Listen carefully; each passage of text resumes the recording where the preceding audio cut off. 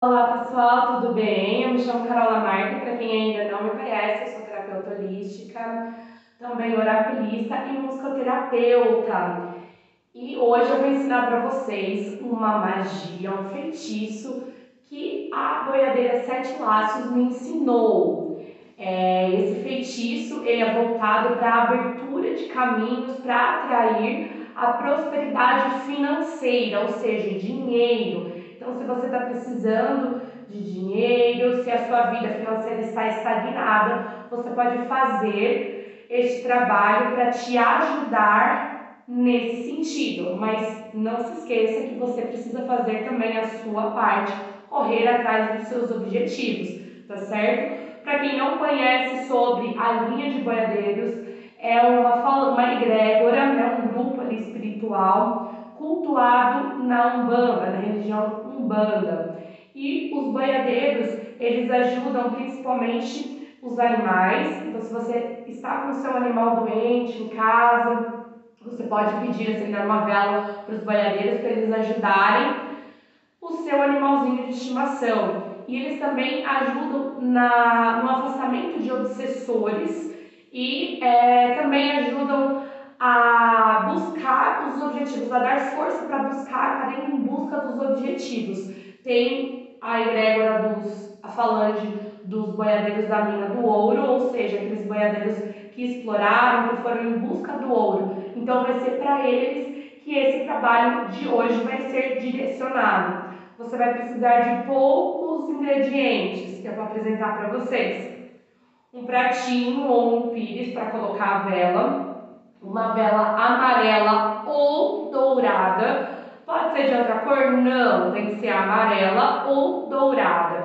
Você pode fazer uma, você pode usar uma vela de sete dias ou uma vela palito, não tem problema, tá? Você vai precisar de algo para escrever o seu nome na vela, pode ser um lápis, pode ser um clipe, qualquer coisa para você escrever na vela mesmo. Se é uma vela, se for uma vela de sete dias, você vai escrever seu nome no papel e colocar embaixo da vela, lembrando que você não pode tirar do plástico, tá certo? Você vai precisar de mel, qualquer mel, não pode ser melaço, tem que ser mel. E você vai precisar também de dendê.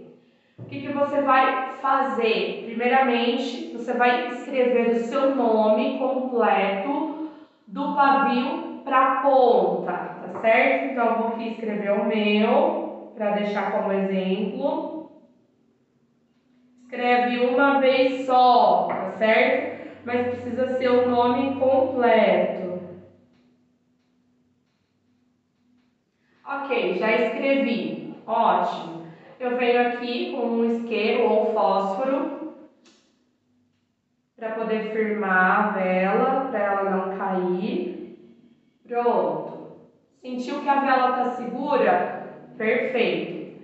Você vai utilizar o dendê e vai jogar e vai pedindo que os boiadeiros esquentem a sua vida financeira. Então, por favor, boiadeiros, esquentem a minha vida financeira, traga prosperidade, abundância.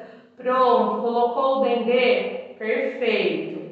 Agora você vai vir com o mel, porque o mel ele também atrai a prosperidade, ele traz vai trazer doçura para sua vida financeira, ou seja, vai trazer coisas boas. Você vai jogar o mel, vai pedir também que este mel traga tudo que você está precisando neste momento, traga abundância, prosperidade, vai jogando assim. Jogou? Ótimo. Você vai fazer o que com o mel? Agora você vai colocar como se fossem faixas ao redor ali da vela. Então, Vou começar fazendo aqui. Agora aqui. Aqui. E aqui. Pode ser quatro só. Se quiser fazer com açúcar, melhor, não tem problema. Isso aqui simboliza a abertura de caminhos, tá certo? E agora vocês vão acender a vela.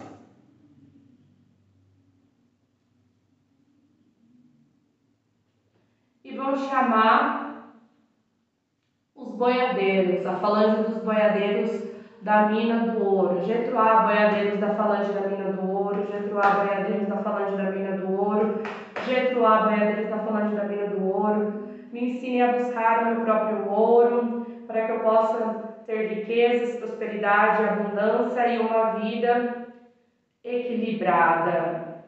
Pronto, é só isso. Essa foi, esse foi o meu pedido, mas vocês podem pedir outras coisas, fazer outras orações, outros pedidos, não tem problema. Deixa a vela queimar ir até o final. Façam aí uma aberturazinha para não ficar acumulado, tá? Para deixar sempre aberto. Pode colocar pouco mel, eu coloquei bastante, mas o ideal é colocar menos mel, tá certo?